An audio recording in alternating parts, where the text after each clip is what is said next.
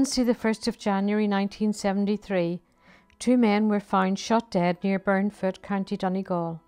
They had been killed by an unidentified loyalist paramilitary group. Wednesday, the 31st of January 1973, a Catholic boy, Philip Rafferty, aged 14, was abducted and killed by loyalists in Belfast. This was the start of another violent year in Northern Ireland. We were leaving 1972 behind and little had changed. Violence was rife and murders commonplace. It was also the year that the UK joined the EEC and the year that a referendum about a united Ireland was held. This was a non event, as nationalists boycotted the referendum, and so the result was an overwhelming majority to stay in the United Kingdom.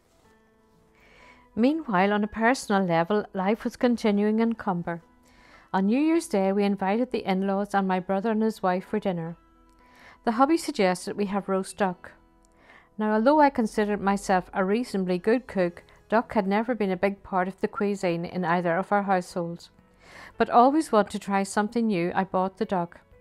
I thought when putting it into the oven there didn't seem to be much meat on it, but I pressed on regardless and hoped for the best.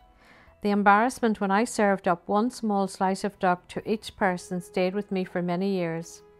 I've steered clear of roast duck ever since, unless it's in a carton and has Marks and Spencer's on it. I have had reservations about writing about 1973 and I have been procrastinating as it was a particularly tough year for me. I discovered I was pregnant at the end of January and I was delighted. Life was good and I was practicing hard for my driving test at the time and felt well. On Wednesday, the 7th of February, the United Loyalist Council organised a one day general strike. It happened to coincide with my driving test. There were power cuts and roads were blocked. Many were intimidated into not going to work, but my driving test inspector turned up, and with little traffic on the roads, I passed my test with flying colours. It was great to be mobile, but it did prove problematic with only one car. That was the norm in the 70s, so we spent our time organising lifts when one of us wanted the car. I think it was 2000 before I got the keys to my very own car. I announced my pregnancy after three months, as did a colleague in my office. Our babies were due in the same week in September. I started knitting baby things, but I was not a knitter. Never have been and never will be, and so the two matinee coats I managed to finish were a disaster. My parents and my in laws weren't exactly over the moon with the news. No hugs or congratulations. More like, how will you manage with one job? It wasn't the done thing to talk about pregnancy, apparently, and so a lot of the joy that I felt quickly disappeared. Also, the religious aspect was probably high on the agenda. At the beginning of Easter week, I began to have some symptoms that were a cause for concern. The doctor was called and suggested bed rest. For four days I lay in bed. On Good Friday I was in such distress that Gordon took me straight to A&E. There a doctor examined me and without any softening of the bad news told me my baby had died in my womb. He explained that I was in labour and there was no alternative but to deliver the baby naturally. I won't go into the details, but it was one of the worst experiences of my life. I wasn't told whether it was a boy or a girl. I cried for days. I had no family near me, and I'm not sure Gordon and I, as a young couple, knew how to deal with the loss. We didn't talk much about it, and my grief was compounded when it was suggested to me that my continuing to work had possibly contributed to the miscarriage. So, along with the heartache of losing our baby, I now had the guilt that it might have been my own fault. I know now that that was not the case. After a few weeks recovering, I went back to work. The hard bit was that those who didn't know about the miscarriage kept asking me when the baby was due. We tried to accept that many first pregnancies end in miscarriage and this wouldn't happen next time, but I felt alone and probably needed some follow up counselling. But I was discharged from hospital and had no choice but to get on with it. It was rarely mentioned again.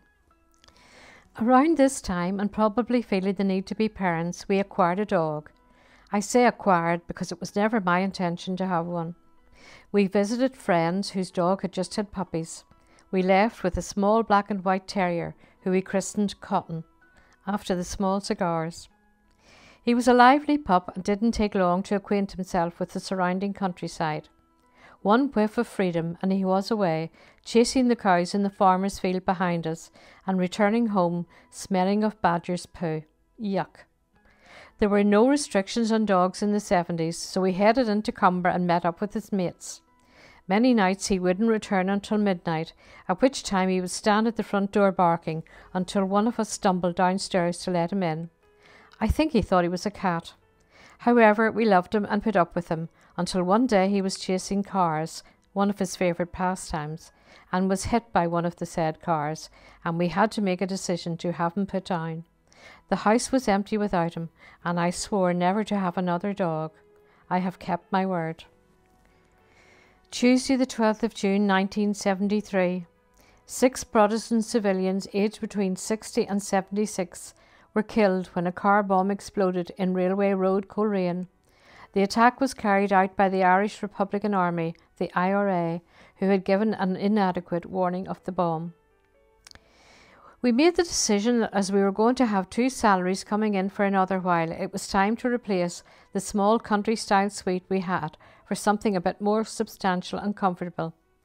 We went into Wright's Arcade in Newtownards where Mr. Wright was serving that day. He was very kind and we chatted.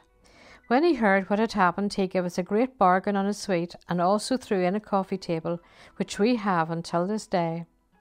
When the suite was delivered, it was way too big for our tiny living room, but we loved it and we had plenty of room to stretch out. Thursday, the 16th of August 1973. Two members of the IRA died when a mortar bomb exploded prematurely during an attack on the army at a base in Pomeroy. September was a challenging time. My work colleague had her baby, and it was difficult to visit her in hospital. Her baby arrived a couple of days after mine would have been due. However, by now we were trying again, and we were having a lot of fun trying. We had changed our car around this time. We brought it from a small garage at the bottom of University Street. It was a Morris something or other, and I guess he saw us coming. After a couple of months, the exhaust developed a hole. What was it with us and exhausts?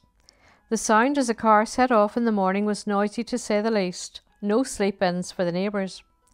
Gordon spent hours under the car rather than in it, plastering the exhaust with gun gum, a seal for exhausts. It would hold for a few days and then blow again. Like the Mini Cooper, which was our first car, the floor in the back was also proving effective as an air conditioning system, and if I remember correctly, I don't think the heater worked, but it just about got us from A to B, so that was a bonus. The year ended with a statement from the Northern Ireland Executive following its first meeting. The statement set out the Executive's hopes for the future and called on people in Northern Ireland to allow 1974 to be the year of reconciliation. Yes, that was 1974. I guess reconciliation in Northern Ireland is a very, very slow process. If you enjoyed this video, please remember to like it, post a comment and share it with your friends. You can also subscribe for free to my YouTube channel to be informed of future episodes. Thank you.